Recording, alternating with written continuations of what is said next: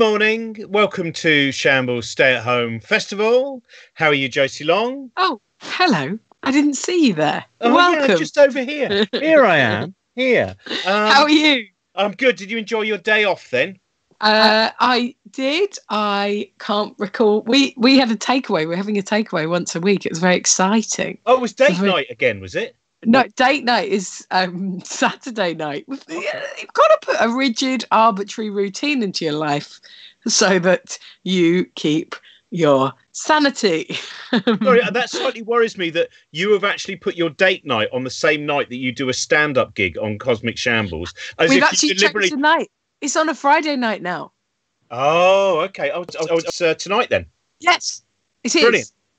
Uh, uh, at half past eight. I think we haven't heavily publicised that it has changed night, so it might just be the five of us talking to each other. But that's, That's what worried me was because I thought, oh my, you've got a date night, and even in isolation, you've worked out an excuse not to have a date. Really sorry, really sorry, Johnny, but I've got a gig tonight, mate. Sorry, yeah, got a gig in the house. Um, How are the, uh, you? I'm What very was good. I just the normal thing. Well, do you know what? I had a very nice chat with Rusty. Sh- I, I talked to Helen Sharman, uh, which was was was great. Uh, the the first British astronaut, and um, then I talked to Rusty Schweickart, which is kind of my my show and tell uh, today. Which was uh, if any of you are watching on Wednesday, I just showed a book called uh, Beyond World, which is uh, Buckminster Fuller and and and various others talking about possibilities of of, of humanity beyond the planet Earth. And I was talking to Rusty Schweickart yesterday, who was Apollo nine which was the mission that tested out the lunar module. Um, and uh, he did an incredible speech in 1974. It was at an event, uh, Lindisfarne. Once a year, these philosophers and some alternative thinkers, etc., would gather together.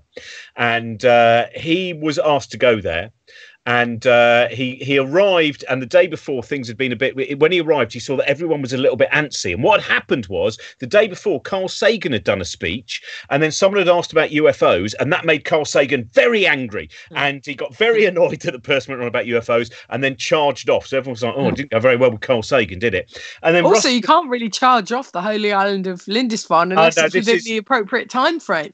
This is in the Hamptons in uh, out off New York. It's it's an alternative Lindisfarne named in in in celebration of the retreat, but uh, uh, the Thank you. retreat of the monks. Continue. Uh, and um, but it was just this incredible speech that he did where he kept thinking, I must write my speech. And then everywhere he went, he'd get distracted. So he went up onto a hill to think about the speech. And then there was a guy in a shack who was just kind of playing the tabla, I think it's called, isn't it? The, those little drums. He was playing that. And so he got kind of lost in a reverie of thinking about the drumming. And then he went, Oh, I really must write that speech. And then he finally got to do this speech. And he, he literally just he went, Oh, I've written one sentence on a, on a card. And he spoke for 25, 30 minutes about what it was like because when he was in space on Apollo 9, there was a point where he was doing a spacewalk and the camera wasn't working. So they said basically just stay there and we'll just get the camera fixed. And so he was just floating in space with nothing else to do but contemplate.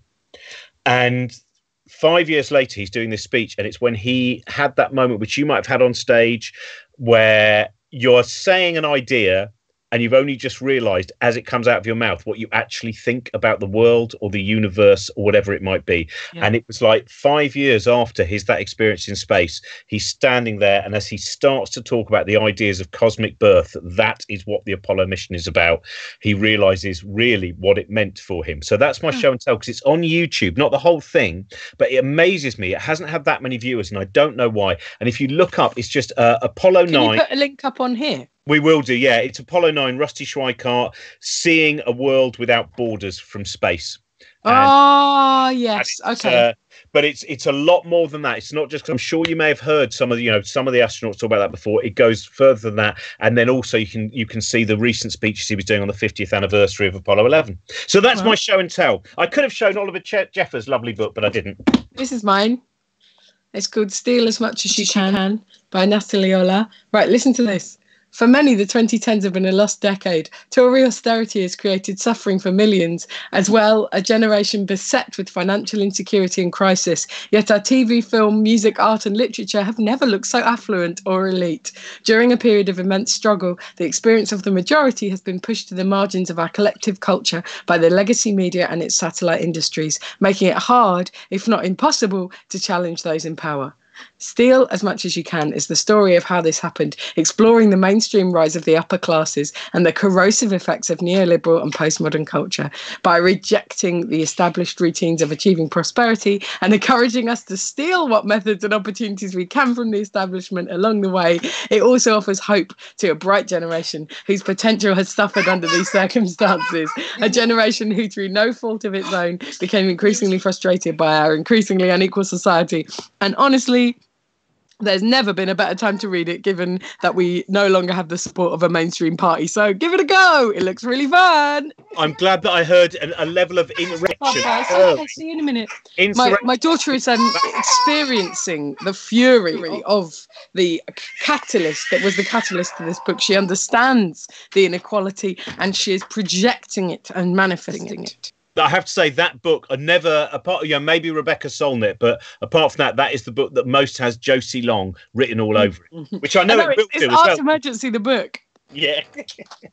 the um so we're joined today by uh comedian, author, broadcaster, uh and uh, and actor and oh loads of different things. Uh but currently in incarceration. Suttie, how are you doing? How are you doing? Hello. Broadcaster, that's nice. Yeah, we're all broadcasters now. Everyone's a broadcaster. Even you, everyone out there, everyone out there, you're all broadcasting now. Um, I wanted to first thing I wanted to talk to you about was when you came on Book Shambles, you talked about a book which is now getting mentioned a great deal, which is Station Eleven. Yeah, yes. and my friend started reading it at the beginning of uh, this this pandemic and was like, "Oh, yeah, do you think was it not as well known then? Like I, because I thought it was so good that everyone must know about it. But it's weird, isn't it? When you really love something, it's a bit like a band. You go, everyone must know about this, and it's really surprising when people go, oh, actually, it's yeah.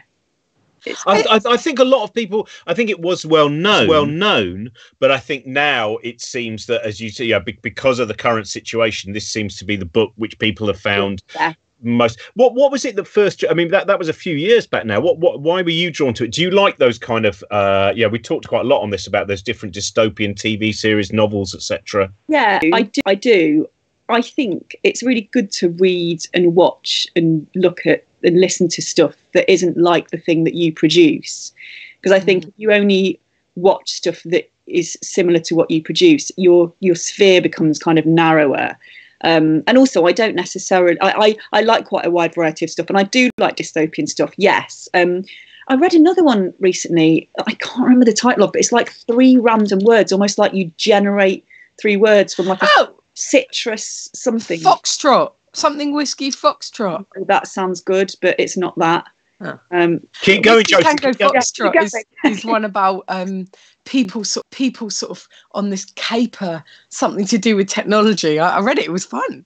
But um, okay, I'll just I'll list three words and eventually we'll get there. I think one of them is citrus. Um, I'll I'll think of it during this during this program. I'll I'll, uh, I'll, I'll surreptitiously Google it. But that was very good, and I'll find the title of it. And that was about um, got a kind of um, a, a, um, basically food and water is running out, and this couple had to go and search for for food and water, and there's a, co- a complete drought. And it's about the base instincts, I think, within people and how people act when they're in a society versus how they act when they're absolutely desperate and the kind of tribal element within society. So I find it really fascinating. And also, I've always had a deep interest in cults and kind of cult leaders and how cults come about. And, and that's kind of in that novel too, because I suppose power has you know a big part to play doesn't it in in any kind of catastrophe.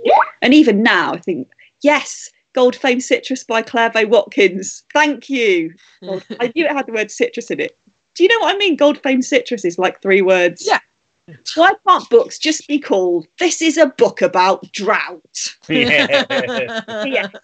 Um, but yeah that is very good as well claire Vaye watkins. Um, yeah i think power and now what we're seeing as well is that in a way the more money you've got i was sort of reading an article about how people can work from home so much more easily if they're in a kind of more high powered job where they can just flip open their laptop and kind of go okay let's have a zoom meeting versus those people who still have to go out and carry on working who might be in lower paid jobs and kind of everything in between and it's a complicated thing but um, yeah, I'm very interested in how people change under pressure. And Mm. I think often there are surprises that who you think you are, um, who you think you are, isn't necessarily, you know, yeah.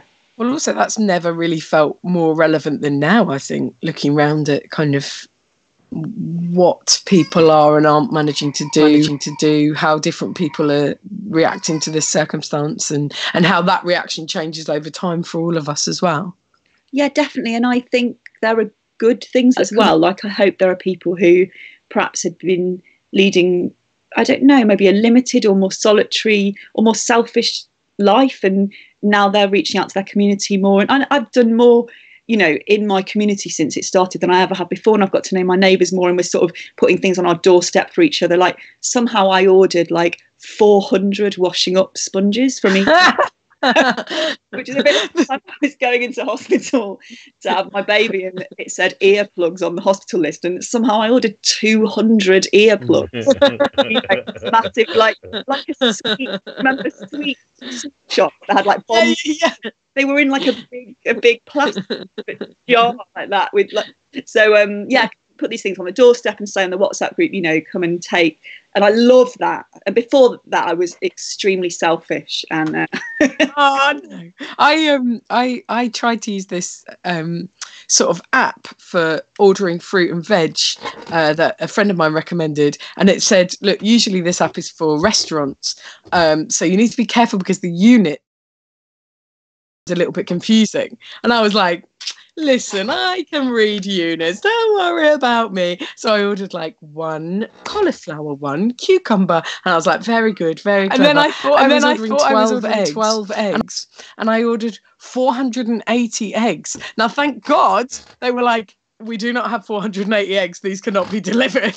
because otherwise, I would have just had to go around the whole area being like, please take these eggs. And it would have cost me completely so much scandalous. Like one person ordered Yeah, all the eggs. Don't they know that? the whole neighborhood would have been taking photos of this delivery guy just stacking hundreds of eggs. And also like also oh like oh my gosh. Yeah i was so glad. Initially i was like oh my 12 eggs haven't come. And then i was like oh this is weird. It's like 80 eggs I had that. I I, uh, I went onto a secondhand uh, book site to uh, order a book, and somehow I ordered uh, about seven hundred and eighty. I don't know how that happened, but uh, the um, is. Can I ask uh, what- one of the things that when- when uh, in in stand up you had some some lovely letters uh, from from your mum, the communication you have with your mum, and I was wondering about at, at, at, at this time in terms of your communication uh, with her. How how is everything Oh, there? it's so lovely if she was still writing letters, wouldn't it? It- I- what happened with she used to write me these very naive letters, didn't she, from my hometown of Matlock about like local people and how one of them had l- looked at the other one's coat because it was heavy a coat for April, and then it had been talked about for days. And then when I started to read them out on stage, she her letters became slightly more self-conscious because she was aware that I was going to read them out, and they were still funny, but um, it's uh, it's a bit like my dad wrote a porno. If the guy had never known that they were doing a podcast about it, um, that he just could have carried on writing and writing and never known. But unfortunately, because it when you know that was so successful that people become aware, and then they're like, "Oh, I've got to carry on writing it." But I think now enough time's gone by that I haven't read them out that I could probably get her to start writing again and then maybe use them as material because I feel completely derelict of creative. I don't know if you guys feel like that too. I, everyone's like, you must be writing loads. And it's like, well, A, I've got two children, one of them's like under two, Mm. but also I feel stuck in this kind of strange bubble where I can't really create anything and I can't, yeah, not really. So, I, I think a lot of what I what I try and write is either a sort of imagining of the future. Usually that's a bit dystopian, or trying to kind of look over how I feel about current events, make a conclusion about that, and then frame a narrative around it. And both of those, it's like, well, we have no idea what the future is going to be like, and we're already in this dystopia. And you know, I can't get my head around what's happening enough to be like, and this is what we should all be doing. You know, I, I haven't a clue. Yeah, it feels like everything changes on a daily basis and that your On a daily feelings basis change as on a well, daily doesn't it? So it's like, yeah, absolutely. Um, And also, it's the same thing having a, a a toddler and you have this tiny little gap where you're like, okay, this is my creative time. Be creative, and your brain is just like, oh, we I could know. sit stultified. I know it's true. Um, Has it made you think? Oh, sorry. say about my mum my mum's better at technology than i am. So she, we're on a whatsapp group now and she um she's really really great at it. And she listens to these roundups every day by this guy called dr john cooper. Don't know if either of you have watched his stuff. He is a, a nurse from the north of england and a, a lecturer i think and he's got a lot of medical knowledge and he talks about all the day's events in a very calm way. I don't know if everything he says is correct, but I feel like I really want to trust him because he's got a lovely accent and timbre. So I sometimes watch. He's like, "You've got to watch Doctor Doctor John Cooper," and then he she sort of gives me the roundup of. of I mean, to be honest, any opinion piece about coronavirus, unless even if you work for, for I don't know, all, all the researchers, all the vaccine is is conjecture in a way, isn't it? Or it's Mhm. kind of an angle on it. So you know, he's as good as anyone else. I like his. So a, a lot of our WhatsApp messages are about Do- Dr. John Cooper.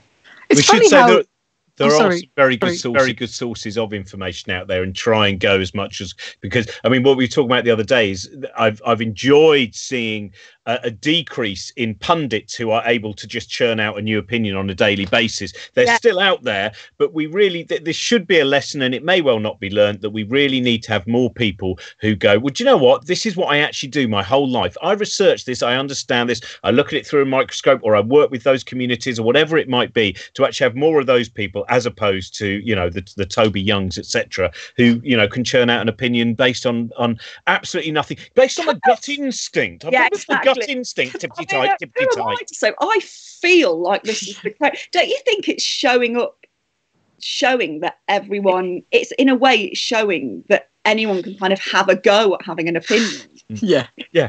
Like, Can well, I say? that this should happen, so why shouldn't it? um, I just wanted to just wanted to remark that I, I found myself definitely in the past week or so feeling just that I just have no time, uh, no time to, to mince words. Robin, usually the most diplomatic man on earth, today named a devilish pundit.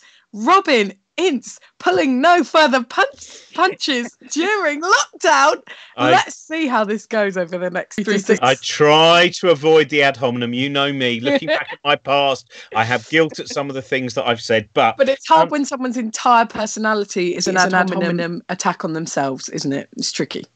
Yeah, the uh, well, there are there have been a certain like uh, we talked about this right at the beginning. Every single day for the first week, I was if I went on Twitter, I would go, "Do not press on that trend. That person has some toxic, ill-informed opinion." And then I had a whole week where it was just like, "Oh look, Elvis Costello or someone's birthday." Or do you remember when that lovely person died a few years ago? And then yesterday it returned. There was another pundit, and I was going, "Can I still do it now? Lent's almost over." I still made it through. Um, the uh, we should find out uh, um, about your your show and tell, Isy. Yeah, so I was going to show the cat jumper, which Josie knows about. The cat jumper is an ongoing thing which has been going on for four years. This has been the bane of my life. It's going to be too small for, for my daughter when I finish it, but it's two cats peering over a wall with paws, looking down on a mouse, which is hangs on by its tail to the jumper and can slot into either of two pockets. So, um, but I can't find it. And anyway, it's you can Hmm. imagine it. So this is that. uh, one day I'll finish the cat jumper and I will post it on Twitter, and then I'll probably lose it on a train the next day, like I did. the cat that I just knitted. Um, this, um, this is a book called um, uh, The Poetry Pharmacy, and it's tried and true prescriptions for the heart, mind, and soul. I don't read that much poetry. Um, uh, I don't know why. I think it's great. I think it's perhaps because it's a bit like jazz, and you can get some shit poetry and you can get some brilliant poetry. And I think sometimes I'm not very good at recognizing early on in the poem whether it's shit or good. Are we allowed to swear? yeah, you we are now. All the rules have changed. also, I mean, we aren't, but I've said, but I've said everything bar the c word on one or the other day. So you know. And you said the F word, so I was like, okay. Um, oh no, I did. Yeah. it's real life. It's real life. it's gritty. Broadcasters. Um, but yeah, so terrible poetry, perhaps, or mediocre poetry or good poetry. I think perhaps I'm not good at the beginning of the poem at detecting, um, but that's no reason not to to read it. And I think sometimes um, poetry can sort of get through where where other things can't. It can sometimes feel quite piercing, like you just need. It's like having a shot. It's like taking a, a, shot of tequila or something um, and it can sort of the, the, meaning of it can get through to you depending on how you're feeling. So this book's it was sent to elis my partner who is who is a real broadcaster um, how he described himself on his on our son's birth certificate. Broadcaster and was really serious about it and then he went round to the other side of the man's computer and looked over his shoulder to check that he's typed in broadcaster I am. Um, I wanted to put film star to put film star on my daughters, but uh, after a, a, considered debate, we t- decided that was not representative. what did you put? I don't I even remember. I didn't even remember you have to put career. You put you Robin. Oh. I bet you put comedian. That's not. no, oh. I wouldn't. I, I hate things like that. I'd, I'd probably just put writer or something like that. I'd, I'd put something with as much, you know, a, a, a looseness of interpretation. I think. We, we both, both put comedian because we thought it would be funny on her birth certificate to have comedian, comedian and then find out genetically, you know, there how, how, how, that works. If you both have both have the comedian gene, so that's yeah, that's uh, the journey we will study. what did you put? Is it? We both put comedian on Betty's uh, for that sort of reason. Um, and then he transitioned to broadcaster. Now on Stefan's, he put broadcaster, and I think I put writer. And it was like we'd grown up. in a way, it was like, oh, we're not putting comedian, comedian anymore. Published author. You should just put that published author. Are you? I'm published author. Yes. yes, published. Yes, it has to be published. Yeah. What's your poem? Which one have you cho- have you chosen one from? The- so there's loads of great ones in here. So yeah, I was going to say someone sent this to Elis when I was quite poorly in my second pregnancy, and um, he mentioned it on air, and they sent this, which was really lovely. He gets sent some things like knitted effigies of himself, which um, uh, perhaps not quite as useful, but this has been very useful in the pandemic. Um, so this is called Nobody, and it's by Michael Laskey, and it on the left hand side it says the condition, and it's supposed to help with various conditions. So this this poem helps with lethargy, um, but it's also use, useful for self isolation and um, loss of pleasure in life, which you know it would be an understatement to say that you know some of us might be going through at, the moment. Um, so yeah, nobody if you can't bring yourself to build a snowman or even to clench a snowball or two to fling at the pine tree trunk, at least find some reason to take you out of yourself. Scrape a patch of grass clear for the birds, maybe, prod at your shrubs so they t- shake off the weight, straighten up, or just stump about, leaving prints of your boots, your breath steaming out. Promise, don't let yourself in for this moment again. The end of the afternoon, drawing the curtains on the glare of the garden, a whole day of snow, nobody's trodden. Um, when I read that, I first of all felt like, oh, we don't have a garden. Um, thanks, we don't have a garden, so I can't stomp about. Um, but I also um, then thought that's lovely um, because the problem I had early on in lockdown was that we were completely self isolated for 14 days because my daughter had a temperature for one day. I don't think she had it, but then obviously kids can have low symptoms. So we followed the advice. We didn't leave the house for 14 days. My back was very bad, and we just got out of a routine. So we didn't, um, we didn't. I didn't get dressed till midday, for example. I'd have a bath for my back, and you know, um, we she was just kind of watching telly quite a lot and which i don't think there's anything wrong with during this but there was no structure whatsoever. It wasn't like she drew a picture then watched telly for half an hour. And then when i read that that was the thing that made me put some structure in because i was like i'm starting to get a bit low really because there's no i'm just wearing tracksuit bottoms and i'm not. So once i started to make everyone get dressed and kind of go and do one thing but like a fitness video or something or even just jump around to a song at nine that really helped. And that was like I don't know, I felt like I was actively doing something.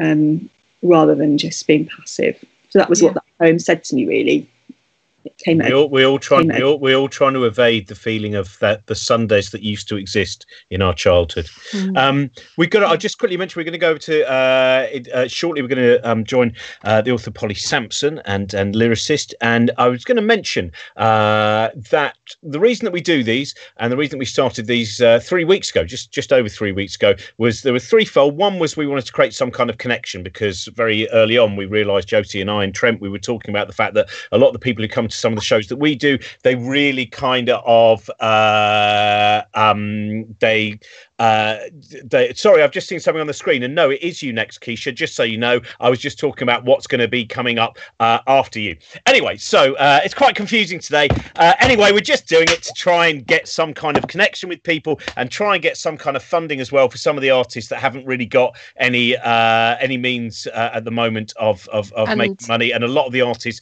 you th- everyone I think thinks that that most artists make a lot of money, and of course a lot of them. I was just talking about this with Stewart Lee actually this morning, and and Stewart by the way is on on on Monday.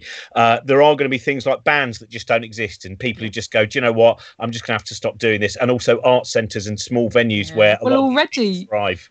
A couple of days, days ago, the Artrix in Bromsgrove said that it's going to have to close. It is really sad to see, and I just think whatever we can do to try, because as well in times like this, and if we're looking towards there being kind of a big recession, you can totally see that that people will start treating the arts as if they're a luxury and expendable and they're not they're a part of everything that is important and they feed into everything else and everything else feeds into them so it is really important also you Can listen donate. some of us may not be the wealthiest of people, but some of us got an email this morning from Ocado saying that as a valued customer, some of us get a priority delivery once a week just for being bougie. So, you know, there's some things that money can't buy, but can buy a bit considering it's Ocado. But nonetheless, Well, I just watched a load of people say, "I take my hand away from the donate button now No, that I'm I've just- seen, I've Well- seen a member of the liberal media elite sitting there in her ivory basement." yeah, yeah, yeah. You'll get 480 eggs from Ocado. That's all I'm going to order from now on. Once a week, 480 eggs. And then I'm going to rig up a little sort of cart and I'm going to pull it around saying, Essential eggs. That's my new life.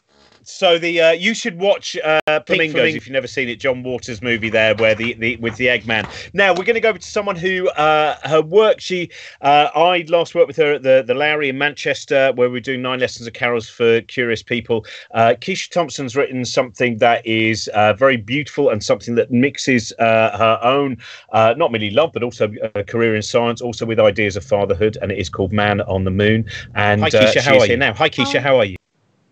Are you all right? Hiya. Brilliant. Yes, you are working. This is working. This is um, now. Uh, you were were you still touring Man on the Moon when when isolation began?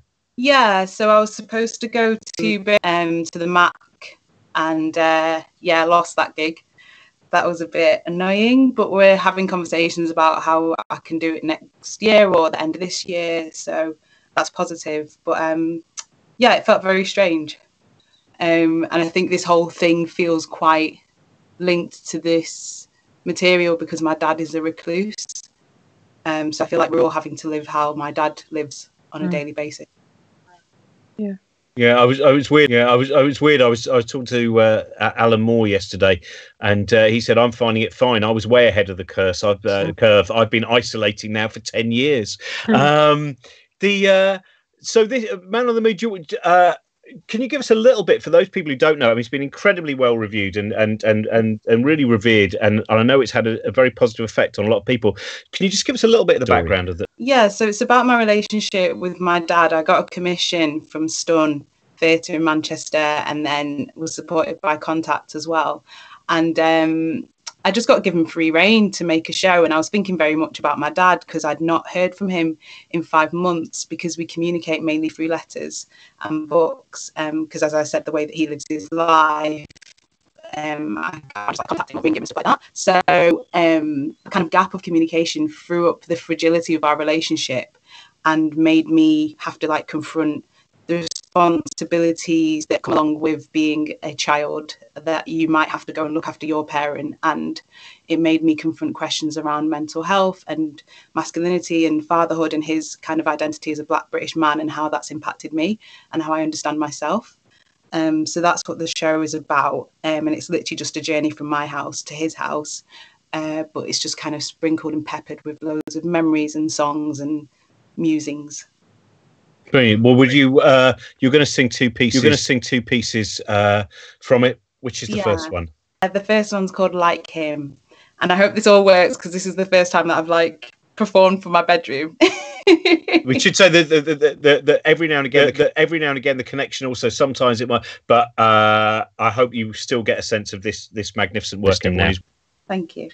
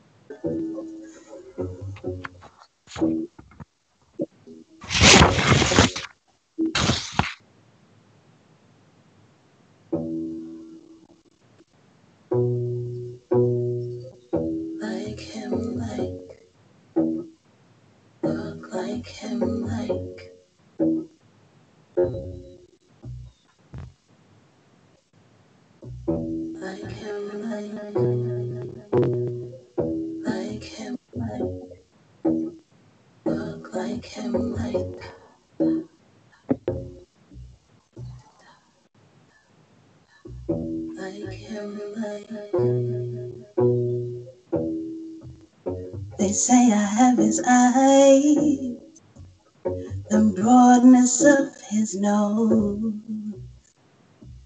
They say I'm like him, like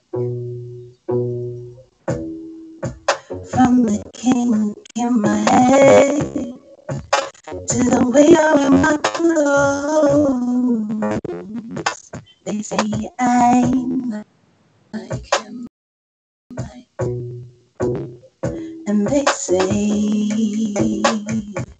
so I say I'm alive.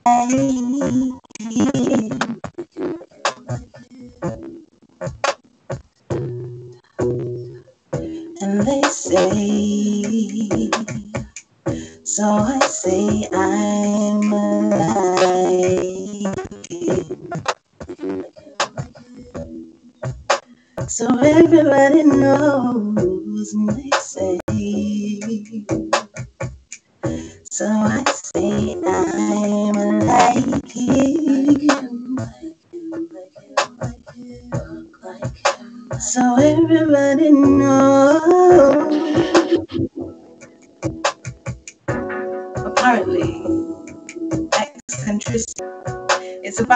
planetary orbits and perfect circles and ratios, but some words they have a special meaning, don't they?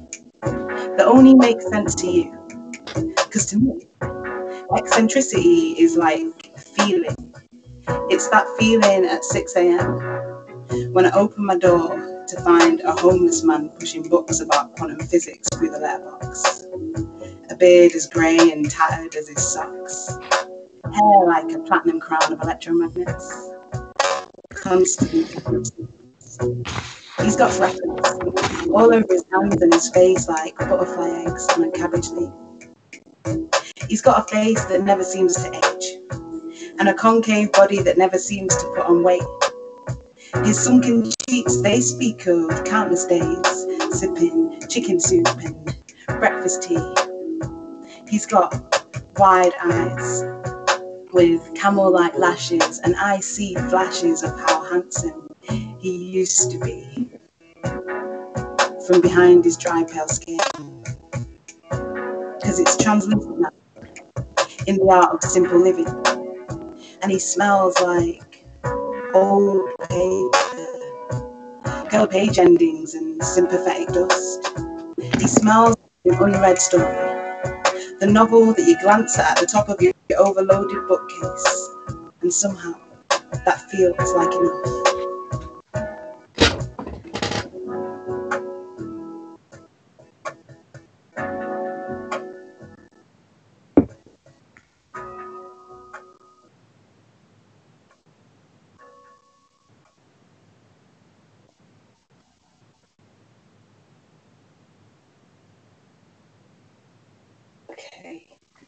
Thank you so much. That was beautiful. Thank you. It feels so weird not having any like response. I'm like, ah, can you hear it? I know. I know. It's, it- Well, we will. Sorry, Josie. no, no, but it, no, no, but it's such an odd hint of the of the um total of performance as a performer. It's like, okay, I am doing it, but I could just be doing this to nobody. No, I loved it. Thank you so much. Um, And we're gonna we're so gonna much. come back. Um, And we're gonna we're gonna come back. We're gonna come back to you at the end if that's okay. 'cause what we're gonna do is Oh, we're going to try and improve the connection by we're, we're all going to drop out right at the end which will just give you the Oh, connection okay. 'cause i know because it was it, we, we still got a sense of the beauty of, of, of the song and it was still great but we're going to try and make sure that for the second song if that's all right if we come back to you in 15 minutes yeah. uh, then we'll get it. This is a great thing. This is what one of, the, one of the things that we're learning on a daily basis is who has the best internet provider and who's slightly let down. But that was brilliant. That was uh, I remember seeing that that in, in Manchester. It's a fantastic song. Uh, Um, Man on the Moon. Find you- out. We'll see Keisha at the end, and we'll find out uh, and and find out more about her work as well. Go and look up Man on the Moon. yes, I want to ask uh, whether you have plans to record the show or whether you've already recorded the show. Um, yeah, I've got a recording of it. I usually send it to like programmers. It's not like filmed in a way like NT Live or anything. Um, but yeah, I've got an EP and I've got a book with the script and some poems that I wrote alongside it and all that kind of jazz. But yeah, if you wanted um, a link to the show, I could send one to you. Oh, Well, there yeah, will be, I there, would there- love that. there will be links under under this uh, as well. So anyone who wants to find out more, uh, you will find out that with all the stuff that we do, uh, there, there are links put up at Cosmic Shambles under these things as well. But Keisha, we will see you again in about 10, 15 minutes. Thank you so much. Thank you. See you again. This Um, is my my VIP Ocado and my VIP link to the show. Just stop right now. We've actually asked people are asking if they can have their donations back now. Now they found out not only But the it's not Ocado thing, to me. It's but going they to all found of us. but they found out you're the egg queen as well, and and it's I'm just the walrus. Um, the uh, oh, by the way, we've just found out with it, it- it's Dr. John Campbell, not Dr. John Cooper. So if you go to Dr. John- Cooper, uh, he just may well be John giving Cooper Clarke. entirely different uh, information. Um, we are now going to uh, j- join uh, novelist and lyricist I mentioned before, uh, Polly Samson. Hello, Polly. Am I turned on? Oh yes, Yes, hello. Yeah, we can. Yes, hello. I found the Hello. Teenager to help. Hello. And, and technical advisor. This is a wonderful thing that people have that's, their the, that's the term, technical advisor. I, I, I think we've. think I, we've- I, I- do much the much same the same thing. I have thing. I a have- twelve-year-old who is my predominant advisor. How on- handy. uh, yeah, I, I had the, media consultant. I'm the, so glad I had a child. the uh, yeah. Now, now you I found knew, out. it's- I it was- knew there's a reason. Yeah. the No. um, before we we talk about, about your, your new book, Theatre of Dreams, I want to talk a little bit about um, the uh, the the lyrics you wrote um, for the album Rattle That Lock, and in particular the, the that that title track, Rattle That Lock, because you wrote it because of kind of a, a- a fear, I suppose, of, of of apathy and a reminder of, of action. And I wonder how you feel now in this particular situation where we are seeing some of those things going on now, as, as Josie and Isy were talking about as well. We, we are seeing people take action, and we are seeing people in terms of uh, in in their neighbourhoods, etc. I, I just wanted your reaction to that. Well, I mean, there's action and action, but I mean that song was written in um, at at a moment when people really couldn't take action because they weren't allowed to, to, to ever, you know, have any sort of um, protest movement with of any move of, of any meaning because everyone was being slammed into prison and not being allowed to gather in places and kind of shake their fists against um, things that were really kind of wrong. And um, and now we're all locked down, and I suppose if we're going to rattle that lock, we have to bloody well sanitize it first. But, um, yeah, yeah, no, it's it's um, yeah, it's weird. It's weird. I mean, what are we supposed to do now? I mean, apathy is the thing that we're all suffering from but it's but now suddenly it's been imposed on us and it's not something that we're doing through choice we're now doing nothing because there's nothing we can do apart from you know talk scream write stuff How do you Um, find as a as a writer how have you found this? Because uh, we speak we're speaking every day to different creatives, and so many people are finding it just so difficult to create in these circumstances. Oh, impossible. I mean, I can't. I, I just. I'm just in. feel like I'm in shock every day at the moment. It's that. That is the closest I can think. I mean, I'm awake all night, which is horrible, and um, just genuinely can't get back to sleep, and that's never been a problem. But it's the daytime also where it's just this feeling of shock, and people are sort of talking about the books they're reading, and that's really great. But I can't. I can't read a word, and I don't know what I'm re- even doing with, with myself. I don't know why I'm so tired, except that then I remember why I'm so tired which is it's this bombardment of kind of confusion about what the future is going to be and if they're even, sorry i don't want to be a real downer on this but No, but I think we all know, feel the same. It's Yeah. I, I- I think uh, uh, it, it's heartening in a way just to understand that everyone is going through these same feelings of kind of reeling and all I do is, now is play pe- random people on chess.com. Uh, Yeah. That's my whole life. i think and that's quite an achievement to be honest I, li- I, I think I just wander around in circles all day, just kind of, and I'm not even aware of thinking about anything that constructive. I just don't know what I'm doing. And then at night, it all kind of rushes in. But I mean, this is, I, I kind of elect to live in a shed in my hmm. normal life because I write, and that hmm. is what I've been doing for the last few years. But this is very different, you know, when it's when you're not electing to do it, it's a very, very different thing, isn't it? I Mm. think. Hmm. But isn't there something? I mean, watching for this night with Emily Maitlis talking Yeah. about the fact that this is not, uh, you know, this is not a disease which is, is all about uh, the equality of opportunity. That in fact this is a disease, and and with certainly the statistics we're seeing in America again, where it's, uh, I, I think they've they've been even uh, sharper. Some of the people gathering who are the people most likely to uh, become ill.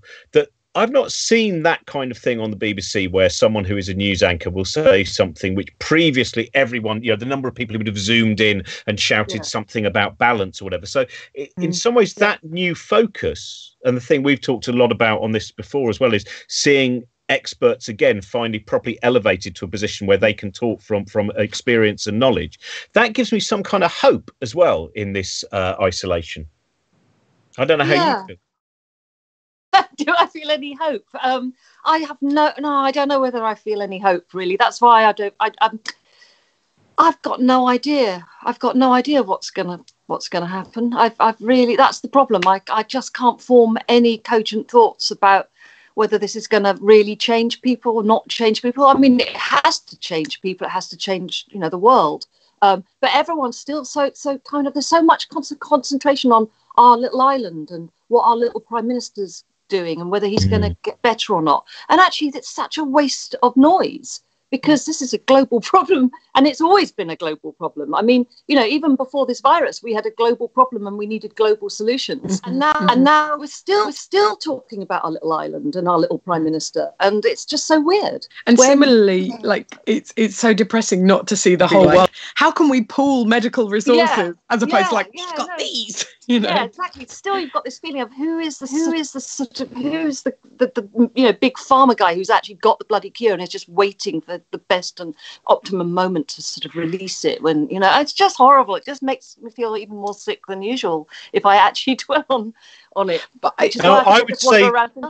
I think there are very positive. I mean, I would say it's worth looking at, you know, talking to people of things like the Francis Crick Institute and organize. And I do know that a lot of scientists, they are all working together and Yeah. they're working together internationally. There are sometimes these stories aren't, as you said, unfortunately, the main story on the front page is something that Stanley Johnson said, which, as you Yeah. said, so, so, so, so parochial and detached from all the other people who are currently suffering. But talking to the scientists, I think I'm hearing a lot of good things about again international communities pooling their resources Yeah. everything else That's off the table this is what we're focusing on Yeah, as long as we don't listen, don't listen to Trump, it should be okay. If we can kind of focus on, you know, scientists and people who are trying to work together, and not people who are trying to just uh, isolate and profit. Yeah. I, I I'll tell wear you Trump cancelling headphones. They actually uh, they, they, they- they work really well. That's Yeah. like those you can get that replace things that you don't like with pictures of kittens. yeah. And so Oh you, god. you know, you go yeah, on a that's news site.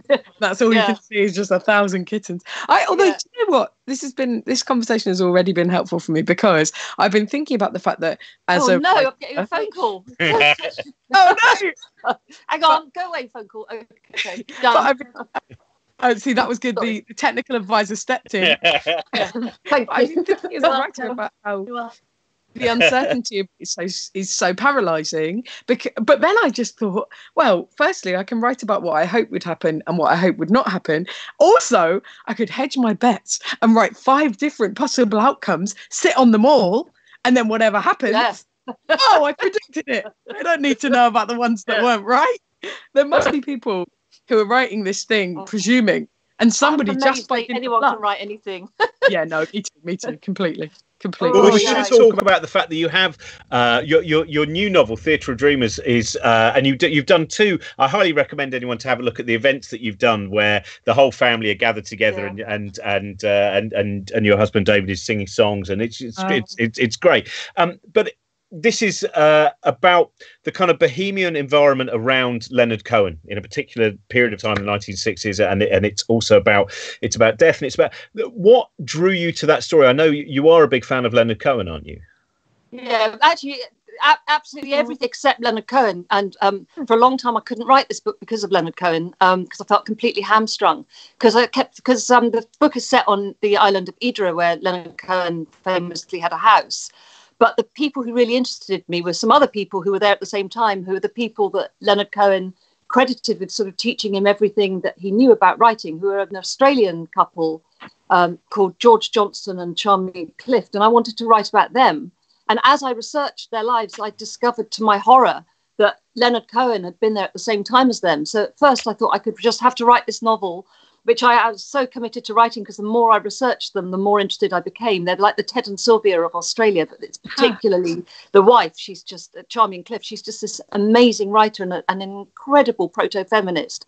And um, and then I kind of got these 1,500 photographs of them in the year that I wanted to write about them. And there was blinking Leonard Cohen in all Mm. these pictures. And there was my, my character I wanted to write about with her head on his shoulder.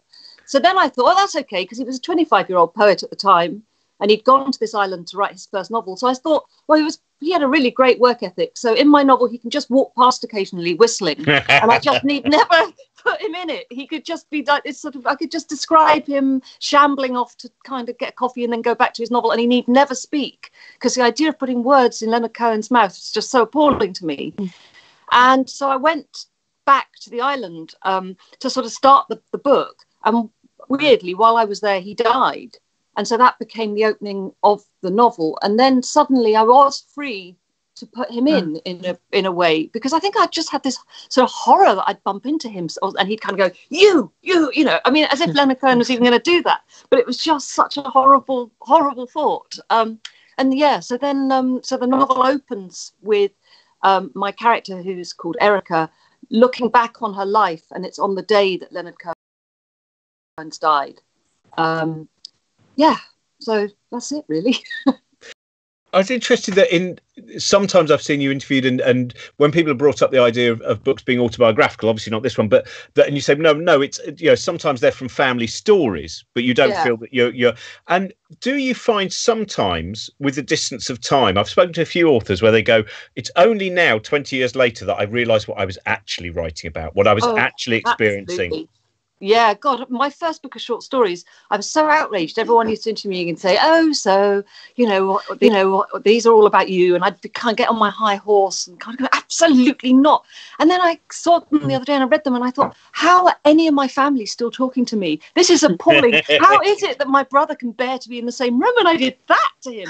But I had no idea that that's what you have no idea. Your subconscious, your preoccupations. You know, you think you're writing total fiction, and you never are. I mean, even Mm. with this, someone pointed out. Um, so Marianne Ihlen is a big character in it, and she had this terrible marriage to someone called Axel Jensen before she met Leonard Cohen. And in fact, there's this sort of terrible karma for this guy because actually he was he was a hugely successful writer in his lifetime. He was kind of the Jack Kerouac of Norway. He kind of his first novel was made into a big film, and on the proceeds of his books, he bought sports cars and a house on Hydra and a you know racing boat. And he is remembered in history as oh the man that was married to Ma- Leonard Cohen's Marianne. I mean, and that is like some karmic thing. that that is how he's remembered because actually he was really horrible to her and horrible to women in general. And um, I was um, I sort of first marriage was to um, actually he's now sadly died, but to a poet, and I wasn't thinking I had any connection to this story. But then, as I was researching Axel and Marianne, I started thinking some of this seems quite familiar. This sort of someone else being drawn into someone's ob- obsession, and somebody kind of having, you know, their relationship breaks up when they have a baby because actually, I mean, I've sort of said this elsewhere that this idea of the muse is nonsense. It's just a grown man who needs a mummy. You know, it's Mm. it's nonsense. The muse, it's rubbish. You know, and as Leonard Cohen sort of said, you know, Marianne put a gardenia and a little sandwich on his desk every day. Well, that's kind of what a mummy would do. You know, so that Hmm. baby can do nice crayon pictures. You know, I do think that that's why this idea of the muse is so- you know goes so wrong when people actually have an actual baby because suddenly you know the the person who needed this muse finds that their muse is inconveniently you know breastfeeding someone else but um so um sorry anyway i was then when i was researching axel I was at the V&A and I found um, a thing on their Revolution um, exhibition that they had, and there was a um, a poetry reading in 1968, and my ex and Axel had read on the same bill. It was so weird. So you do start seeing that there are these things where you think it's all made up, but actually the thing that's drawn you to a story in the Mm. first place often are that there are shared preoccupations. I think. Well, and I also think that no matter how much you think you're how much you think you're hiding in your work, it's you Yeah. writing it. that's, yeah, yeah. It's that not- not simple, isn't it? Yeah. What's interesting to me is that I do find that women writers in particular, people obsess over the um, autobiographical hints in their work in a way that with male writers it doesn't happen in the same way. And I sort of think that it comes from people sort of going, oh, well, this must just be her talking about her life. She can't have Yeah. fictionalized this. She can't have. in this act. Yeah, no, nothing at all. Yeah. yeah, crazy. There's an interesting book you might have read it, the the lives of the muses. The lives I of can't the remember the name of muses. the author, but The it's name very author, but it's very and it goes through and and so interesting the number of times that now in the 21st century, recently, some of those muses people have finally gone, oh yeah, they were like the Dorothea Tanning exhibition that there was Ah. recently, Yeah, yeah, for a yeah, lot- yeah. or or Leonora Yeah, or Carrington. Dora Maar, or yeah, Yeah. yeah, people that they had some actual talent. Wow, amazing.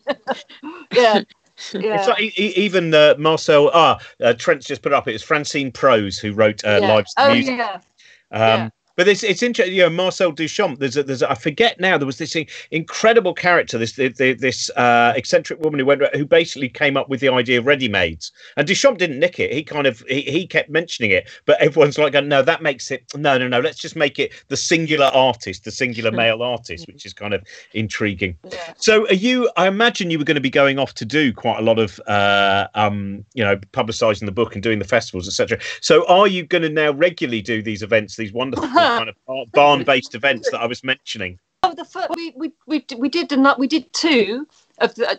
I, I think of them as the Waltons, really, or the we've been calling them the Von Trapped family because actually I am my you know my my children left home. Well, not this this one was about to leave home, but Oh. but they they're, they're all trapped here with us now. So actually, as a mother, it's kind of like oh my children, here we all are together again. This is a rare treat. But um, yeah, so we did one because my son and my daughter-in-law made this amazing set, which was going to be the, the the the place where everyone met on Hydra, this cafe called Katsikas. And because we were going to do these events, this set was kind of you know built by by my son and, and, and daughter-in-law. And we just didn't want the set to go to waste because it's so beautiful. It's just standing in our barn. So we said, oh, well, we'll do a Facebook thing and, and just use the set. And David and I had written a song that sadly never got finished because as the lockdown happened, we would just get there was an amazing fiddle player was going to come and play on it, and our wonderful Louise was going to come and sing backing vocals on it, and all that had to stop. And it's just sort of frustrating when you're just about to kind of do these things and you've got so much to say and sing. So we thought, oh, well, we'll just do one to mark publication day.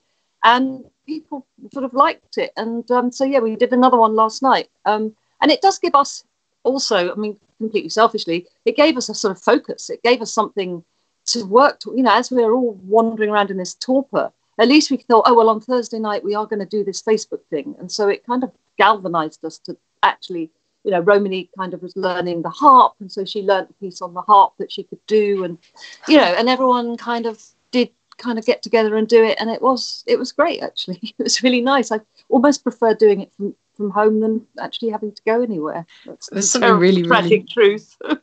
but also something but also something really beautiful about the whole family pitching in together it's Yeah. really wholesome yes, uh, it's very Waltons, isn't it? Yeah i think people enjoy that connection it's all you know it's so much Yeah. it's ve- very interesting watching the number of different artists and, and musicians who are you know getting together all over different forms of zoom or skype or whatever Yeah. and recording together um Yeah. the uh, i Oh, didn't necessarily lovely, need? Yeah, Yeah. all i, think- want to see is the cast the cast of, musicals gradually adding to a zoom call to build to a chorus that's all i want to see Oh, for the rest yeah. of my life Oh yeah. Polly, Um, thank you so much for joining us. Thank Uh, Theatre, Theatre of Dreamers is uh, it's it's it's it's out now. You can get it on on obviously the the bookshops aren't around you. There are bookshops that are still you know a lot. Of, do look out for the independent bookshops. There's a lot of independent Newham bookshops. That, bookshop. Oh, She's Newham, one of my favourites. She is Oh, so great. Every Vivian event we we, we, we have Vivian. Uh, Newham Yeah. bookshop, the big green big green bookshop, Nosy, uh, not Nosy Crow. Uh, uh, the, the, um, across the country, if if you can, a lot of those independent bookshops are still sending out books and Yeah. they really and a lot of them were already a little bit on the cusp and and vivian you're Yeah. right Ewan bookshop Yeah, no, is she's sending one out of- books one from of- her front room. she, she's um, um, uh, amazing so if you can uh, and if you can avoid kindle and you're prepared to wait a little bit and then have to leave the parcel. That's what i find. My, my friend jeff who's sending me books i have to leave the parcel on the doorstep for 24 Oh, hours so- and i know I there's books in there's books and i need them. So, so try and support those things. Thank you so much polly and thank, Thank you very much as well for Thank the you. brilliant technical advice as well. Okay, Brilliant. thanks. Cheers. Um, well, we uh, we're going to go back to uh, Keisha. We're going to disappear now because we're going to try and make sure the connection's as good as possible. As I said, uh, if you can donate, uh, don't worry, I'm not taking any of your money. Uh, we're sharing out amongst some of the acts uh, who, at the moment, as I said, basically their diaries are clear now, and we really, really hope we're going to make enough to support some of those art centres, places like the Rondo, which is a wonderful small art centre, and uh, the Pound in Corsham, and and various others. So, uh, oh I- let's say bye to Isy before we go oh, well. she's still here. Brilliant. Yes. Somewhere is he? hello That was How- great. So are you um now? d- Do you find? I presume, like Josie, the idea of having a structure for a day anyway, when you have uh, very small children, that never really exists anyway, does it? It's Does always it? a It's dream. always of a dream of structure. It's always a dream of structure, but I find, find that if there is a structure, even if you deviate from it, there was originally a structure, and that makes a difference. And then when you do deviate Then from when it, do deviate from it, you're like, we've had a really exciting day today We because went against the grain. yeah, yeah. Yeah, the, The nap, nap is is- enough. Everything centres around the nap, the baby's nap, really. Yeah. The nap is the greatest part of the day, and I love my daughter. I love my daughter more than anything in the world. But the nap is the greatest part of the day. And and you you haven't got much longer either. Yeah. Fading out now, Josie. That Don't beautiful you dare nap. say that. Um, ju- just to warn you. She'll be napping Uh, until she's 19. Yeah. I'll be Oh, taking no, her out in the pram. between 13 and 19, you're fine for napping. And then for some reason, it becomes frustrating. So that's a different uh, issue. Um, Um, Isy, y- I know that you've just finished uh, your first novel. Uh, your first novel. So how is that? How does that feel? I've just finished the first draft. Yeah, sorry. Um, I- no, no, no. It, uh, my editor's sending me notes. Um, she was very specific about the day. I don't know how she knew that it would be. I think it's on the 17th of April. So then I'll start rewriting. Huh? That's my birthday. wow. It's the present I wanted. Anyway, sorry to be That silly. you changed it for me, for, for me to see me get my notes on your birthday. Um, yeah, so that, um, I'll start doing the rewrites then, which will be quite weird doing rewrites about a book that isn't set during a pandemic. But yeah, that's what I'm doing mainly at the moment. That'll be what I'm doing, and bits and bobs like this. Oh, well, thank you so much for joining us, Isy. And again, go and find out.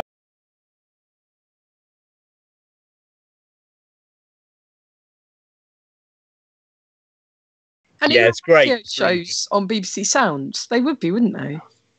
my what my radio shows no there's a bit of a fight to get them on there On they're there. not they're not on there i had been emailing people about it before all this happened but there's other stuff that i've done on sounds like my podcast and stuff and um, my podcast the things we do for love is on um is on the podcasts bit of the phone i'm not very good at tech.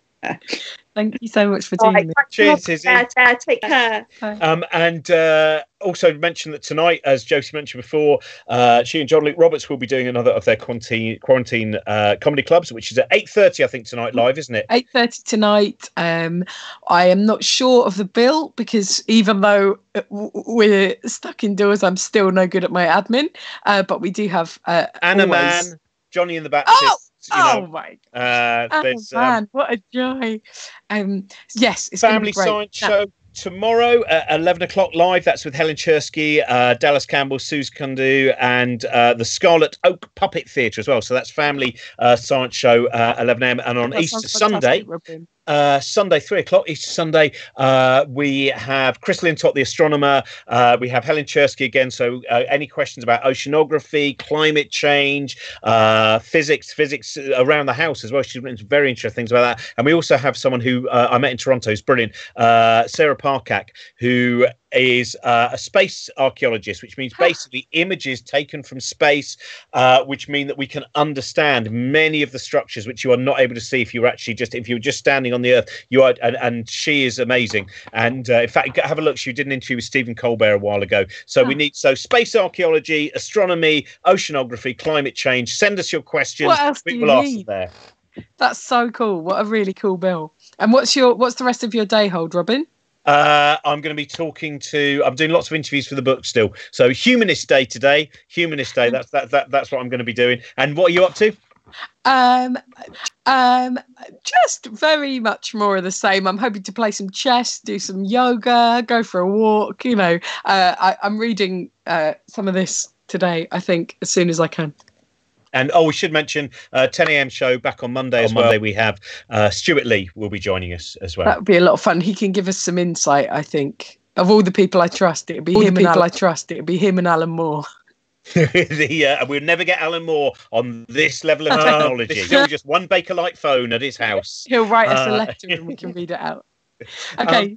We'll hand back to Keisha. Keisha, thank you so much for joining us uh, again. We're going to disappear. Uh, this is another song, isn't it, from uh, Man on the Moon? Thank you. Yes. Thank you. Thanks, very much, Keisha, and uh, keep up to date with her work. Bye bye. See you over the weekend. Okay, so this song is called Sometimes, um, and it's about me imagining me hugging my dad because I've not done that. Uh, here we go.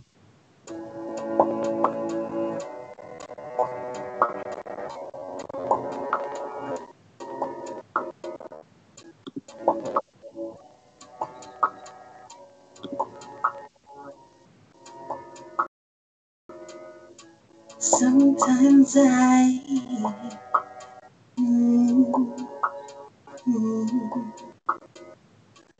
Sometimes I like to imagine. Sometimes I like to imagine what it would feel like if I sometimes I like to imagine what it would feel like if I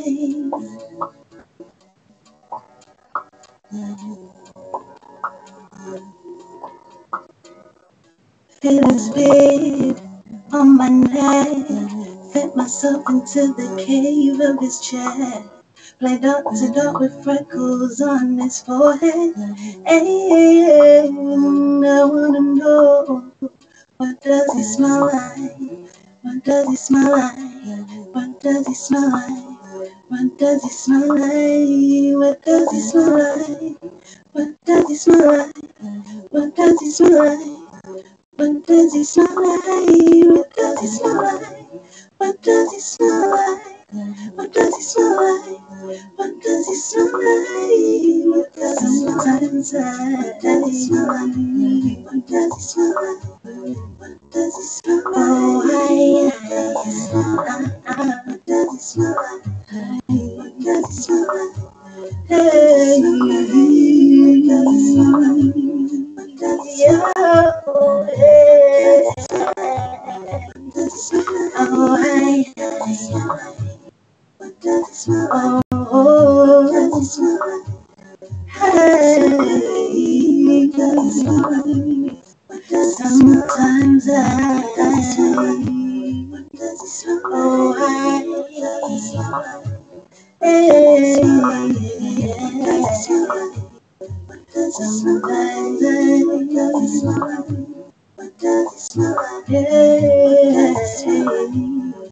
Oh.